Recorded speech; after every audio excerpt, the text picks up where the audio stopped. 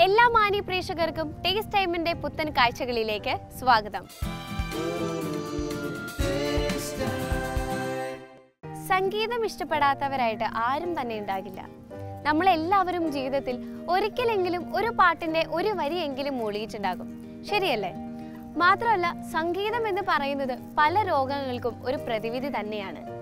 എല്ലാ ജീവജാലങ്ങൾക്കും ഒരു താളവും ഈണവും എല്ലാം ഉണ്ട് ഇത് നമ്മൾ മനസ്സിലാക്കാനായി ശ്രമിക്കുക എന്നത് മാത്രമാണ് നമ്മൾ ചെയ്യേണ്ടത്. ഇനി നമുക്ക് ഇന്നത്തെ ആദ്യത്തെ വിഭവത്തിലേക്ക് കടക്കാം. ഹായ് ഇന്ന് നമ്മൾ ടേസ്റ്റ് ടൈമിൽ തയ്യാറാക്കാൻ പോകുന്നത് ചില്ലി ചന മസാലയാണ് ഇത് ശരിക്കും പറഞ്ഞാൽ ഇതിന്റെ പല വേർഷൻസ് നമ്മൾ കഴിച്ചിട്ടുണ്ട്. ബീച്ചിലൊക്കെ നമ്മൾ നടക്കാൻ പോകുമ്പോൾ ചിലർ ഇങ്ങനെ ചന്ന മസാലയായിട്ടൊക്കെ അതിന്റെ ഒരു പ്രിപ്പറേഷൻ വേറെയാണ്. നമ്മൾ ഇന്ന് ടേസ്റ്റ് ടൈമിൽ തയ്യാറാക്കാൻ പോകുന്നത് കുറച്ച് സോസൊക്കെ മിക്സ് ചെയ്ത് അതായത് സോയാ സോസ് കെച്ചപ്പൊക്കെ മിക്സ് ചെയ്ത് കുറച്ച് റിച്ച് ആയിട്ടാണ് റെഡിയാക്കാൻ പോകുന്നത്. അപ്പോൾ നമ്മുടെ ഈ ചില്ലി ചന മസാലയ്ക്ക് വേണ്ടിയിട്ടുള്ള ചേരുവകൾ എന്തൊക്കെയാണെന്ന് നോക്കാം. നമ്മൾ പ്രഷർ കുക്കറിൽ ഈ നമ്മുടെ ചന്ന നമ്മൾ അഞ്ച് വിസിലടുപ്പിച്ച് നന്നായിട്ട് വേവിച്ച് ദേ ഇവിടെ റെഡിയാക്കി വെച്ചിരിക്കുകയാണ്. അതുകൂടാതെ നമുക്ക് കോൺഫ്ലോർ വേണം. പിന്നെ നമുക്ക് എണ്ണ ചില്ലി സോസ് ഉണ്ട് സോയാ സോസ് ഉണ്ട് ടൊമാറ്റോ കെച്ചപ്പ് ഞാൻ എടുത്തിട്ടുണ്ട്. പിന്നെ കുറച്ച് മുളക് സ്പ്രിങ് ഒനിയൻ കുറച്ച് ഉപ്പ് കുറച്ച് പഞ്ചസാര പിന്നെ കുറച്ച് കുരുമുളക് പൊടി ക്യാപ്സിക്കം സവാള വെളുത്തുള്ളി. അപ്പോൾ ഇത്രയും ചേരുവകളാണ് നമ്മുടെ ഈ ചില്ലി ചന മസാലയ്ക്ക് വേണ്ടിയിട്ടുള്ളത്. അപ്പോൾ നമുക്ക് തുടങ്ങിയാലോ? എന്തായാലും ഞാൻ സംഭവം ഈ നമ്മുടെ മെയിൻ ഇൻഗ്രീഡിയന്റ് ആയിട്ടുള്ള ചന നന്നായിട്ട് വേവിച്ച് വെച്ചിട്ടുണ്ട്. അപ്പോൾ ഇതിലേക്ക് നമുക്കിത് നല്ല ക്രിസ്പി ആയിട്ട് കിട്ടണം. അപ്പോൾ നമ്മൾ കോൺഫ്ലോർ ഒന്ന് മിക്സ് ചെയ്ത് കൊടുക്കാൻ പോവാണ്.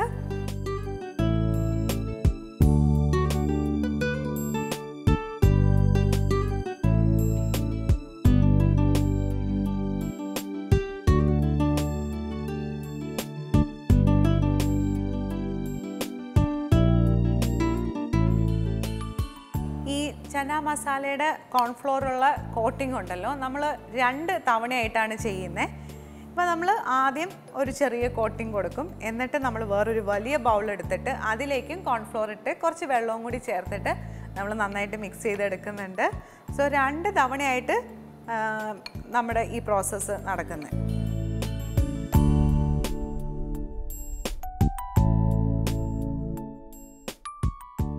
അപ്പോൾ നമുക്ക് വേറൊരു വലിയ ബൗൾ എടുക്കാം.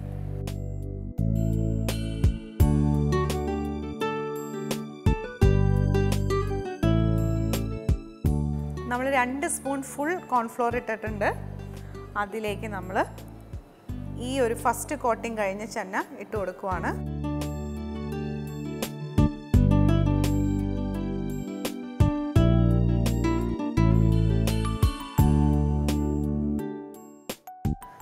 കുറച്ച് വെള്ളം കൂടി ചേർക്കാം.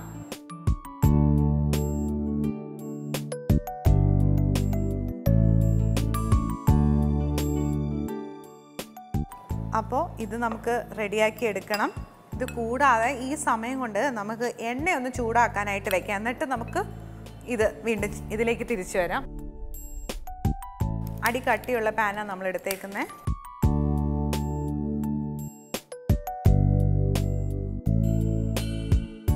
ഇതിലേക്ക് നമ്മൾ എണ്ണ ഒഴിച്ചു കൊടുക്കാം.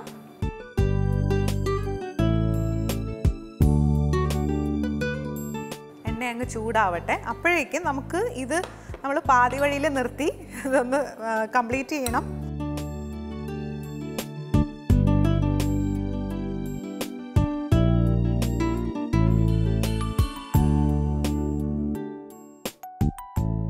അപ്പോൾ ദാ ഇങ്ങനെ എല്ലാ ഭാഗത്തും ആ കോൺഫ്ലോർ പിടിച്ചിട്ടുണ്ട്. ഇനി നമ്മുടെ എണ്ണ ചൂടായി തുടങ്ങിയിട്ടുണ്ട്. അപ്പോൾ നമ്മുടെ ഈ ചെന്ന ഇതിലേക്ക് ഇടാം.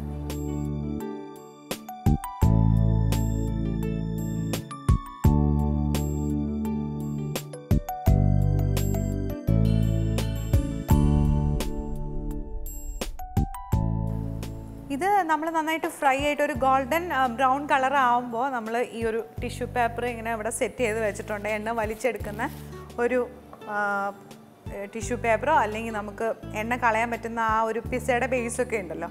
അതിലേക്ക് വേണമെങ്കിൽ നമുക്ക് ഇട്ട് കൊടുത്ത് ആ എണ്ണ വറ്റിച്ച് കളയണം. അപ്പോൾ ഇത് റെഡി ആവട്ടെ.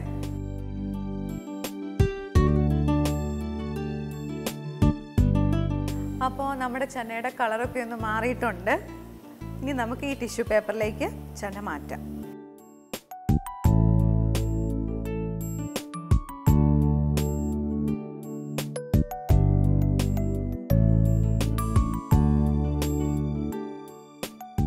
ഓക്കെ അപ്പോൾ ചെന നമ്മൾ ഫ്രൈ ചെയ്തിട്ട് ഇങ്ങോട്ടൊന്ന് മാറ്റി വയ്ക്കുകയാണ് തൽക്കാലത്തേക്ക്. ഇനി നമുക്ക് ബാക്കിയുള്ള കാര്യങ്ങൾ നോക്കാം. അപ്പോൾ ഈ പാൻ മാറ്റിയിട്ട് നമുക്ക് വേറൊരു പാൻ എടുക്കാം.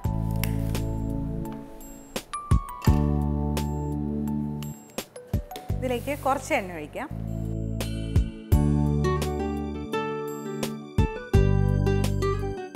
ഇതിലേക്ക് ഈ എണ്ണ ചൂടാകുമ്പോൾ നമുക്ക് സവാള വെളുത്തുള്ളി ക്യാപ്സിക്കം സ്പ്രിംഗ് ഓണിയൻ ഇതെല്ലാം ഒന്ന് ചൂടാക്കി ചൂടാക്കിയല്ല നല്ല വഴറ്റിയെടുക്കണം.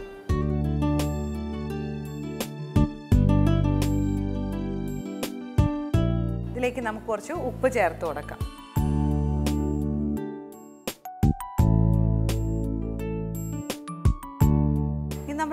സവാള എടുത്തു വെളുത്തുള്ളി ക്യാപ്സിക്കം സ്പ്രിംഗ് ഓണിയൻ പച്ചമുളക് ഇതെല്ലാം കൂടി ഒന്ന് നമ്മൾ വഴറ്റിയെടുക്കും. അപ്പോൾ ഞാൻ നേരത്തെ പറഞ്ഞപ്പോൾ വിനാഗിരിയുടെ കാര്യം പറയാൻ വിട്ടുപോയായിരുന്നു. വിനാഗിരിയും കൂടി നമ്മൾ ഇതിന്റെ അകത്ത് ചേർക്കുന്നുണ്ട്. അത് ഏറ്റവും ലാസ്റ്റാണ് നമ്മൾ ചേർക്കുന്നത്. എനിക്ക് ഈ നോർത്ത് ഇന്ത്യൻസിന്റെ തട്ടുകടയുടെ അടുത്ത് പോയതിന്റെ ഒരു മണമാണ് ഇപ്പോൾ കിട്ടുന്നത്. നമ്മൾ ഈ പാവ് ബേൽപൂരി ഇതൊക്കെ കഴിക്കുന്നതിന്റെ ഒരു അന്തരീക്ഷമാണ് ഇപ്പോൾ തോന്നുന്നത്. അപ്പോൾ തീർച്ചയായിട്ടും നിങ്ങൾക്ക് അങ്ങനെ കഴിക്കണം എന്ന് തോന്നുമ്പോൾ വീട്ടിൽ ഇതുപോലെ ചെന്ന മസാലയൊക്കെ റെഡിയാക്കി കഴിച്ചു വെക്കുക. ഇനി നമുക്ക് ഇതിലേക്ക് വെളുത്തുള്ളി ചേർക്കാം.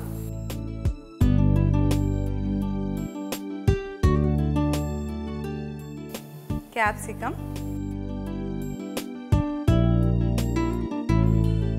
പച്ചമുളക്.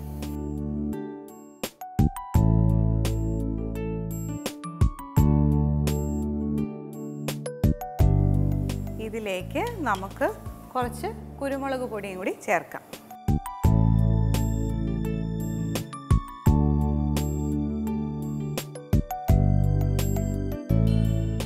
ഇനി നമുക്ക് സ്പ്രിംഗ് ഒനിയനും കൂടി ചേർക്കാം.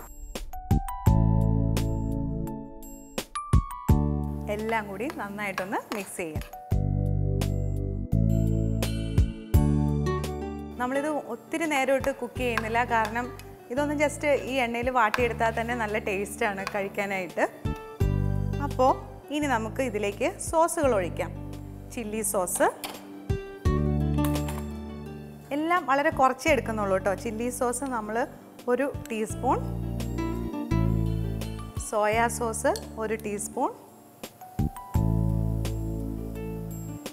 ടൊമാറ്റോ കെച്ചപ്പ് നമ്മൾ ഒരു സ്പൂൺ വലിയ സ്പൂൺ ഒരു മീഡിയം സൈസ് സ്പൂൺ നമ്മൾ എടുത്തിട്ടുണ്ട് എല്ലാം കൂടി നമുക്കൊന്ന് മിക്സ് ചെയ്യണം.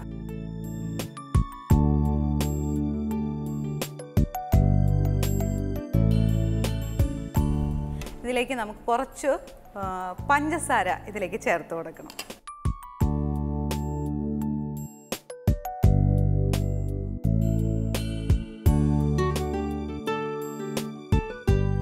അപ്പോൾ ഇത് നന്നായിട്ട് നമ്മൾ മിക്സ് ചെയ്തിട്ടുണ്ട്. ഇതിലേക്ക് നമ്മളിനി നേരത്തെ റെഡിയാക്കി വെച്ച നമ്മുടെ ചന്ന ഇതിലേക്ക് ഇട്ട് കൊടുക്കുകയാണ് എല്ലാം കൂടി നന്നായിട്ടൊന്ന് മിക്സ് ചെയ്യാം.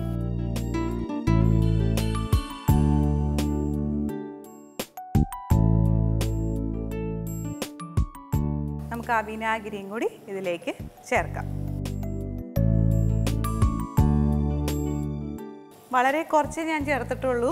ഒരു ടീസ്പൂൺ ആണ് ഇതിന്റെ അകത്തേക്ക് ചേർത്തിട്ടുള്ളൂ.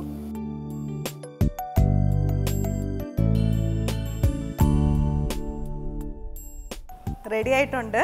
നമ്മുടെ ചെന്ന ചില്ലി മസാല സ്റ്റൗ ഓഫ് ചെയ്യാം. അപ്പം നമുക്ക് ഈ ചില്ലി ചന മസാല എങ്ങനെയാണ് തയ്യാറാക്കിയെന്ന് ഒന്നുകൂടി നോക്കിയാലോ? ഈ ചന നന്നായിട്ട് പ്രഷർ കുക്കറിലിട്ട് ഒരു അഞ്ച് വിസിൽ അടുപ്പിച്ചു. ചൂടാറിയതിന് ശേഷം കോൺഫ്ലോർ ചേർത്ത് നന്നായിട്ട് മിക്സ് ചെയ്യുക. ആ മിക്സ് ചെയ്ത ആ ബൗളിൽ നിന്ന് നമ്മൾ വേറൊരു ഫ്രഷ് ബൗൾ എടുക്കുക. അതിലേക്ക് വീണ്ടും നമ്മൾ ഈ ചന ഇടുക. എന്നിട്ട് കുറച്ചും കൂടി കോൺഫ്ലോർ ചെയ്തിട്ട് എല്ലാ ഭാഗവും കവർ ചെയ്ത് നല്ല വൈറ്റ് കളറിലാക്കി ഈ ചന എടുക്കണം. അതിനുശേഷം നമ്മൾ കുറച്ച് വെള്ളം കൂടി ചേർത്ത് ഒന്നുകൂടി നന്നായിട്ട് മിക്സ് ചെയ്യുക. പിന്നീട് നമ്മൾ വേറൊരു പാൻ വെച്ചിട്ട് അതിലേക്ക് എണ്ണ ഒഴിച്ച് കോൺഫ്ലോർ മിക്സ് ചെയ്ത ചന അതിലേക്ക് ഇട്ട് കൊടുത്തു. എന്നിട്ട് നല്ല ഗോൾഡൻ കളർ ആവുമ്പോൾ അത് വറുത്ത് കോരുക. എന്നിട്ട് മറ്റൊരു പാൻ നമ്മൾ എടുത്തു. അതിലേക്ക് കുറച്ച് എണ്ണ ഒഴിച്ച് കൊടുത്തു. ചൂടായി കഴിയുമ്പോൾ ഇതിലേക്ക് നമ്മൾ സവാള ഉപ്പ് വെളുത്തുള്ളി ക്യാപ്സിക്കം പച്ചമുളക് കുരുമുളക് പൊടി സ്പ്രിംഗ് ഒനിയൻ ഇതെല്ലാം ചേർത്ത് നന്നായിട്ട് മിക്സ് ചെയ്ത് വഴറ്റിയെടുത്തു. ഇതിലേക്ക് നമ്മൾ ചില്ലി സോസ് ഒരു ടീസ്പൂൺ ആണ് ചേർത്തത്. സോയാ സോസ് ഒരു ടീസ്പൂൺ ആണ് ചേർത്തത്. ടൊമാറ്റോ കെച്ചപ്പ് നമ്മൾ കുറച്ചും കൂടി കൂടുതൽ ഒഴിച്ചു. ഇതെല്ലാം കൂടി ചേർത്ത് നന്നായിട്ട് ഇളക്കി യോജിപ്പിച്ചു. അതിലേക്ക് നമ്മൾ കുറച്ച് പഞ്ചസാരയും കൂടി ചേർത്തു. എല്ലാം കൂടി യോജിപ്പിച്ചതിന് ശേഷം നേരത്തെ റെഡിയാക്കി വെച്ച ചന്ന നമ്മൾ ഇതിലേക്ക് മിക്സ് ചെയ്തു. ഏറ്റവും ലാസ്റ്റ് നമ്മൾ വിനാഗിരിയും കൂടി ചേർത്തിട്ട് നന്നായിട്ടൊന്ന് മിക്സ് ചെയ്തു. അത്രയേ ഉള്ളൂ. നമ്മുടെ ചില്ലി ചന മസാല റെഡി അങ്ങനെ നമ്മുടെ ചില്ലി ചന മസാല റെഡി ആയിട്ടുണ്ട്. തീർച്ചയായിട്ടും നിങ്ങൾ എല്ലാവരും ഇത് തയ്യാറാക്കി നോക്കണം. വളരെ ക്രിസ്പിയാണ് നല്ല ടേസ്റ്റിയാണ്. ആ വിനാഗിരിയൊക്കെ ഒഴിച്ചുകൊണ്ട് തന്നെ നല്ലൊരു പുളിയുണ്ട്. നമ്മൾ ടൊമാറ്റോ കെച്ചപ്പ് ചേർത്തു കുരുമുളക് പൊടി ചേർത്തു. ഇതെല്ലാം കൂടി ആയപ്പോൾ വളരെ നല്ലൊരു കോമ്പിനേഷനാണ് അപ്പോൾ എല്ലാവരും ട്രൈ ചെയ്യുക. ഞാൻ ഇപ്പോൾ തന്നെ വരാം വേറൊരു ഡിഷുമായിട്ട്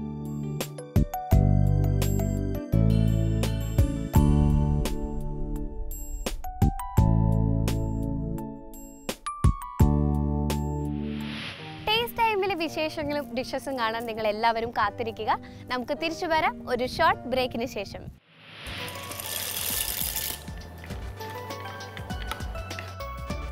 വെളിച്ചെണ്ണയിൽ മാക്രോണി കഴിച്ച ഒരു വല്ലാത്ത ടേസ്റ്റ് ആയിരിക്കും. അതുകൊണ്ട് നമ്മൾ ഒലീവ് ഓയിൽ യൂസ് ചെയ്യാണ്. ഇതിലേക്ക് സ്പ്രിംഗ് അനിയൻ ചേർക്കണം നമ്മുടെ വേവിച്ച് വെച്ച് മാക്രോണി ഇതിലേക്ക് ചേർക്കുവാണ്. കാണാൻ മാത്രമല്ല കഴിക്കാനും വളരെ ടേസ്റ്റിയാണ്. ധൈര്യമായിട്ട് നിങ്ങൾക്ക് എല്ലാവർക്കും ഇത് ട്രൈ ചെയ്ത് നോക്കാം.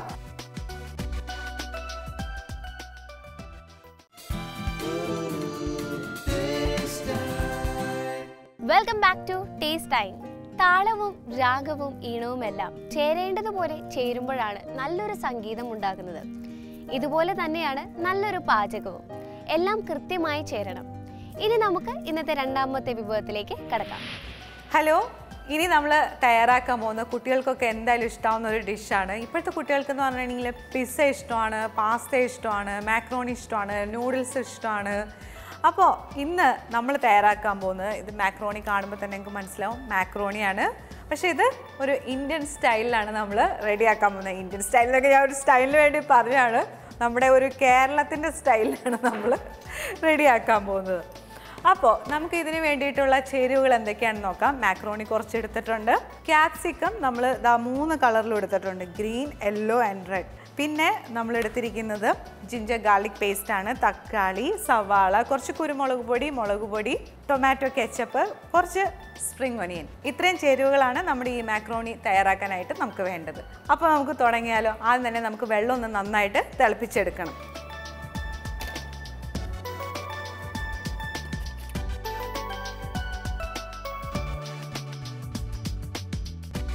സ്റ്റൗ ഓൺ ചെയ്യാം.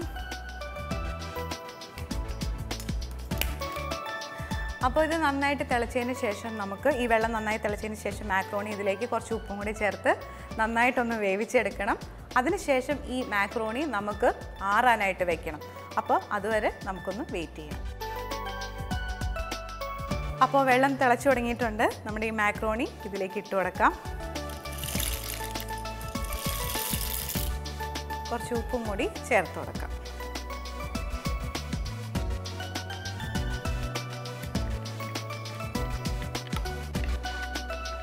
ഇത് നന്നായിട്ടൊന്ന് വേവട്ടെ.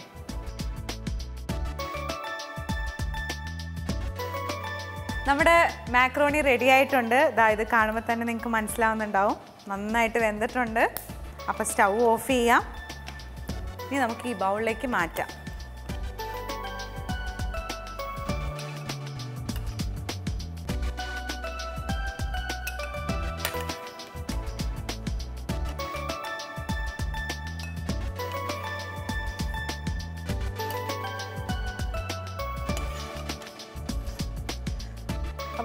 നമുക്കിത് ആറാനായിട്ട് ഇങ്ങും സൈഡിലേക്ക് മാറ്റി വയ്ക്കാം ഇനി നമുക്ക് വേറൊരു പാൻ എടുക്കാം. സ്റ്റവ് ഓൺ ചെയ്യാം.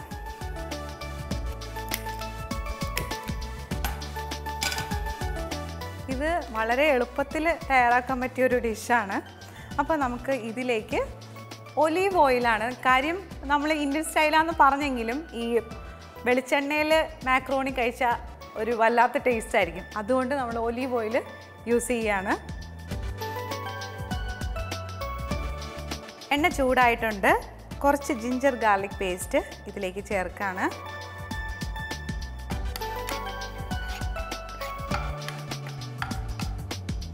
ഇതിലേക്ക് നമുക്ക് സവാള ചേർക്കാം.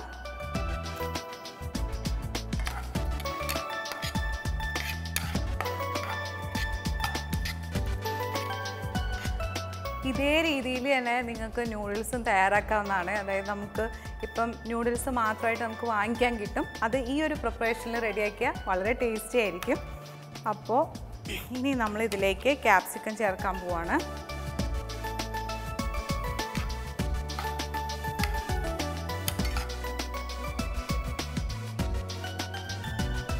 കുറച്ച് ഉപ്പ് ചേർക്കാം. ഒന്നുകൂടി നന്നായിട്ട് മിക്സ് ചെയ്യാം. തക്കാളി ചേർത്താലോ?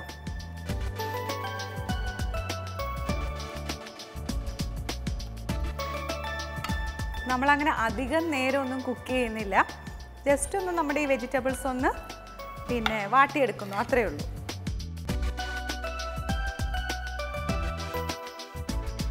ഇതിലേക്ക് നമുക്ക് കുറച്ച് മുളക് പൊടി കുരുമുളക് പൊടി ഇതെല്ലാം ചേർക്കണം. കുരുമുളക് പൊടി ഒന്ന് മിക്സ് ചെയ്യട്ടെ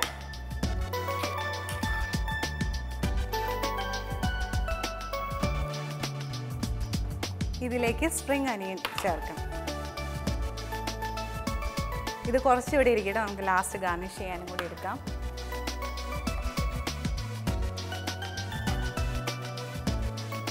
ഇതിലേക്ക് ടൊമാറ്റോ കെച്ചപ്പ് ചേർക്കുവാണേ. ഒരു സ്പൂൺ ടൊമാറ്റോ കെച്ചപ്പ് നമ്മൾ ചേർക്കുന്നു. ഒന്ന് മിക്സ് ചെയ്യാം.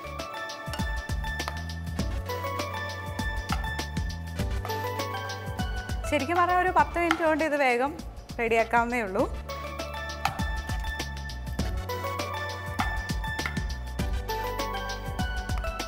എല്ലാം റെഡിയായിട്ടുണ്ട് നമ്മുടെ വേവിച്ച് വെച്ച് മാക്രോണി ഇതിലേക്ക് ചേർക്കുവാണ്.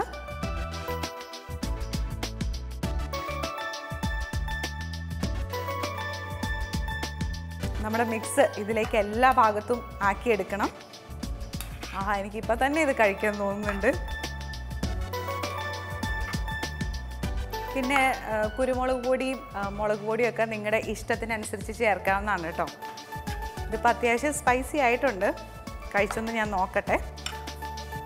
കണ്ടിട്ട് എനിക്ക് സ്പൈസി ആയിട്ട് തോന്നുന്നുണ്ട്. പിന്നെ ഇതിന്റെ ആ ഒരു സ്മെല്ലടിക്കുമ്പോഴും നല്ല എരിവുള്ള പോലെ തോന്നുന്നുണ്ട്. അത്യാവശ്യം എരിവുണ്ട്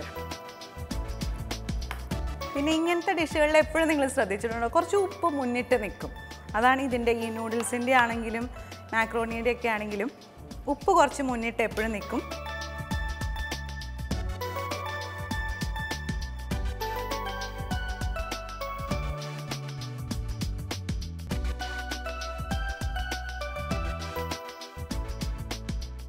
നമ്മുടെ മാക്രോണി റെഡി ആയിട്ടുണ്ട്. നമുക്ക് വേറൊരു ബൗളിലേക്ക് മാറ്റാം.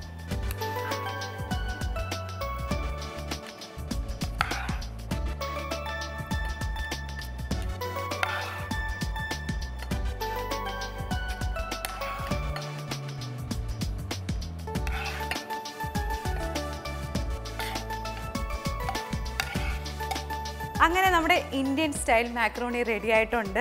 അപ്പോൾ ഇതിന്റെ മുകളിലായിട്ട് നമുക്ക് കുറച്ച് സ്പ്രിങ് അനിയനും കൂടി ഭംഗിക്ക് വേണ്ടിയിട്ട് ചേർത്ത് കൊടുക്കാം. നമുക്ക് ഈ ഇന്ത്യൻ സ്റ്റൈൽ മാക്രോണി എങ്ങനെയാണ് തയ്യാറാക്കിയതെന്ന് ഒന്നുകൂടി നോക്കാം. നമ്മൾ ആദ്യം തന്നെ ഒരു പാനിലേക്ക് വെള്ളം ഒഴിച്ച് നന്നായിട്ട് തിളപ്പിക്കാം നന്നായിട്ട് ആ വെള്ളം തിളയ്ക്കുമ്പോൾ ഈ മാക്രോണി ചേർത്ത് കൊടുക്കുക. അതിലേക്ക് കുറച്ച് ഉപ്പും കൂടി ചേർത്ത് നന്നായിട്ട് മിക്സ് ചെയ്യുക. അതിനുശേഷം നന്നായിട്ട് വേവിക്കുക. നല്ല വെന്ത മാക്രോണി നിങ്ങൾക്ക് പിടിച്ച് നോക്കുമ്പോൾ മനസ്സിലാവും നല്ല സോഫ്റ്റ് ആയിരിക്കും. അതിനുശേഷം അതൊരു ബൗളിലേക്ക് മാറ്റി തണുക്കാനായിട്ട് വെക്കാം. എന്നിട്ട് നമ്മൾ വേറൊരു പാൻ എടുത്തു. ആ പാനിലേക്ക് നമ്മൾ ഒലീവ് ഓയിലാണ് യൂസ് ചെയ്തത്. ഒലീവ് ഓയിൽ ഒന്ന് ചൂടായി കഴിയുമ്പോൾ അതിലേക്ക് നമ്മൾ ജിഞ്ചർ ഗാർലിക് പേസ്റ്റ് സവാള ക്യാപ്സിക്കം ഉപ്പ് എന്നിവ ചേർത്ത് നന്നായിട്ട് മിക്സ് ചെയ്തു. അതിലേക്ക് നമ്മൾ തക്കാളി മുളക് പൊടിയും കുരുമുളക് പൊടിയും സ്പ്രിംഗ് ഒണിയനും ടൊമാറ്റോ കെച്ചപ്പും ചേർത്ത് കൊടുത്തു. അതൊന്ന് നന്നായിട്ട് വഴറ്റിയെടുത്തതിന് ശേഷം മാക്രോണിയും കൂടി ചേർത്ത് നന്നായിട്ട് ഇളക്കി യോജിപ്പിച്ചു. എന്നിട്ട് നമ്മൾ ലാസ്റ്റ് കുറച്ച് സ്പ്രിംഗ് ഓണിയൻ അതിന്റെ മുകളിൽ ഗാർണിഷ് ചെയ്ത് കൊടുത്തു. അത്രയേ ഉള്ളൂ നമ്മുടെ മാക്രോണി റെഡി ആഹാ കാണാൻ തന്നെ നല്ല ഭംഗിയുണ്ട്. കാണാൻ മാത്രമല്ല കഴിക്കാനും വളരെ ടേസ്റ്റിയാണ് ധൈര്യമായിട്ട് നിങ്ങൾക്ക് എല്ലാവർക്കും ഇത് ട്രൈ ചെയ്ത് നോക്കാം. വളരെ എമ്മിയാണ് കുട്ടികൾക്കൊക്കെ എന്തായാലും ഇഷ്ടമാവും ഞാനിപ്പോൾ ഇത് എന്തായാലും കഴിക്കാൻ പോവാണ്. അപ്പോൾ തീർച്ചയായിട്ടും നിങ്ങളെല്ലാവരും ട്രൈ ചെയ്യുക. നമുക്ക് അടുത്ത എപ്പിസോഡിൽ കാണാം.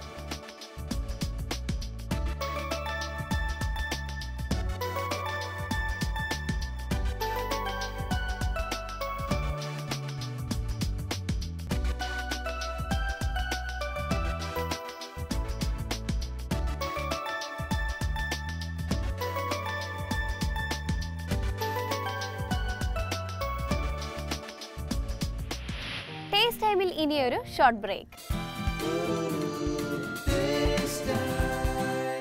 Welcome back to taste time. ഇനി ടേസ്റ്റ് ടൈം കത്തിലേക്ക് തിരുവല്ലയിൽ നിന്ന് മേരി ചേച്ചിയാണ് കത്തയച്ചിരിക്കുന്നത്. നമ്മുടെ റെസിപ്പിയിലേക്ക് നമുക്ക് കടക്കാം. വാഴച്ചുണ്ട് കട്ട്ലേറ്റ് ആവശ്യമുള്ള സാധനങ്ങൾ. വാഴച്ചുണ്ട് ഒരെണ്ണം കടുക് അര ടീസ്പൂൺ ചുവന്നുള്ളി നാലെണ്ണം വെളുത്തുള്ളി നാലല്ലി പച്ചമുളക് ഒരെണ്ണം ഉപ്പ് പാകത്തിന് ഗരം മസാല ഒരു സ്പൂൺ ഏലയ്ക്ക ഒരെണ്ണം റൊട്ടി രണ്ടെണ്ണം മുട്ടവെള്ള രണ്ട് മുട്ടയുടെ റൊട്ടിപ്പൊടി പാകത്തിന് വെളിച്ചെണ്ണ ആവശ്യത്തിന്. തയ്യാറാക്കുന്ന വിധം വാഴച്ചുണ്ട് ചുവന്ന ഭാഗം മാറ്റി പൊടിയായി അരിഞ്ഞു വയ്ക്കുക. ഒരു പാനിൽ വെളിച്ചെണ്ണ ചൂടാക്കി കടുക് പൊട്ടിക്കുക. ഇതിലേക്ക് പൊടിയായി അരിഞ്ഞ ചുവന്നുള്ളി വെളുത്തുള്ളി പച്ചമുളക് എന്നിവ ചേർത്ത് വഴറ്റിയ ശേഷം ഉപ്പും ഗരം മസാല പൊടിയും ചേർക്കണം. വഴന്നു വരുമ്പോൾ ഏലയ്ക്ക പൊടി ചേർത്ത് കൊടുക്കുക. ഇതിലേക്ക് വാഴച്ചുണ്ട് അരിഞ്ഞത് ചേർത്ത് നല്ലതുപോലെ വഴച്ചുക. ചൂടാറിയ ശേഷം റൊട്ടി കഷ്ണങ്ങൾ ചേർത്ത് മിക്സിയിൽ അടിച്ചെടുക്കുക. ഇത് ഇഷ്ടമുള്ള ആകൃതിയിലാക്കി മുട്ടവെള്ളയിൽ മുക്കി റൊട്ടിപ്പൊടിയിൽ പൊതിഞ്ഞ് ചൂടായ എണ്ണയിലിട്ട് വറുത്തുകോരി ഉപയോഗിക്കാം.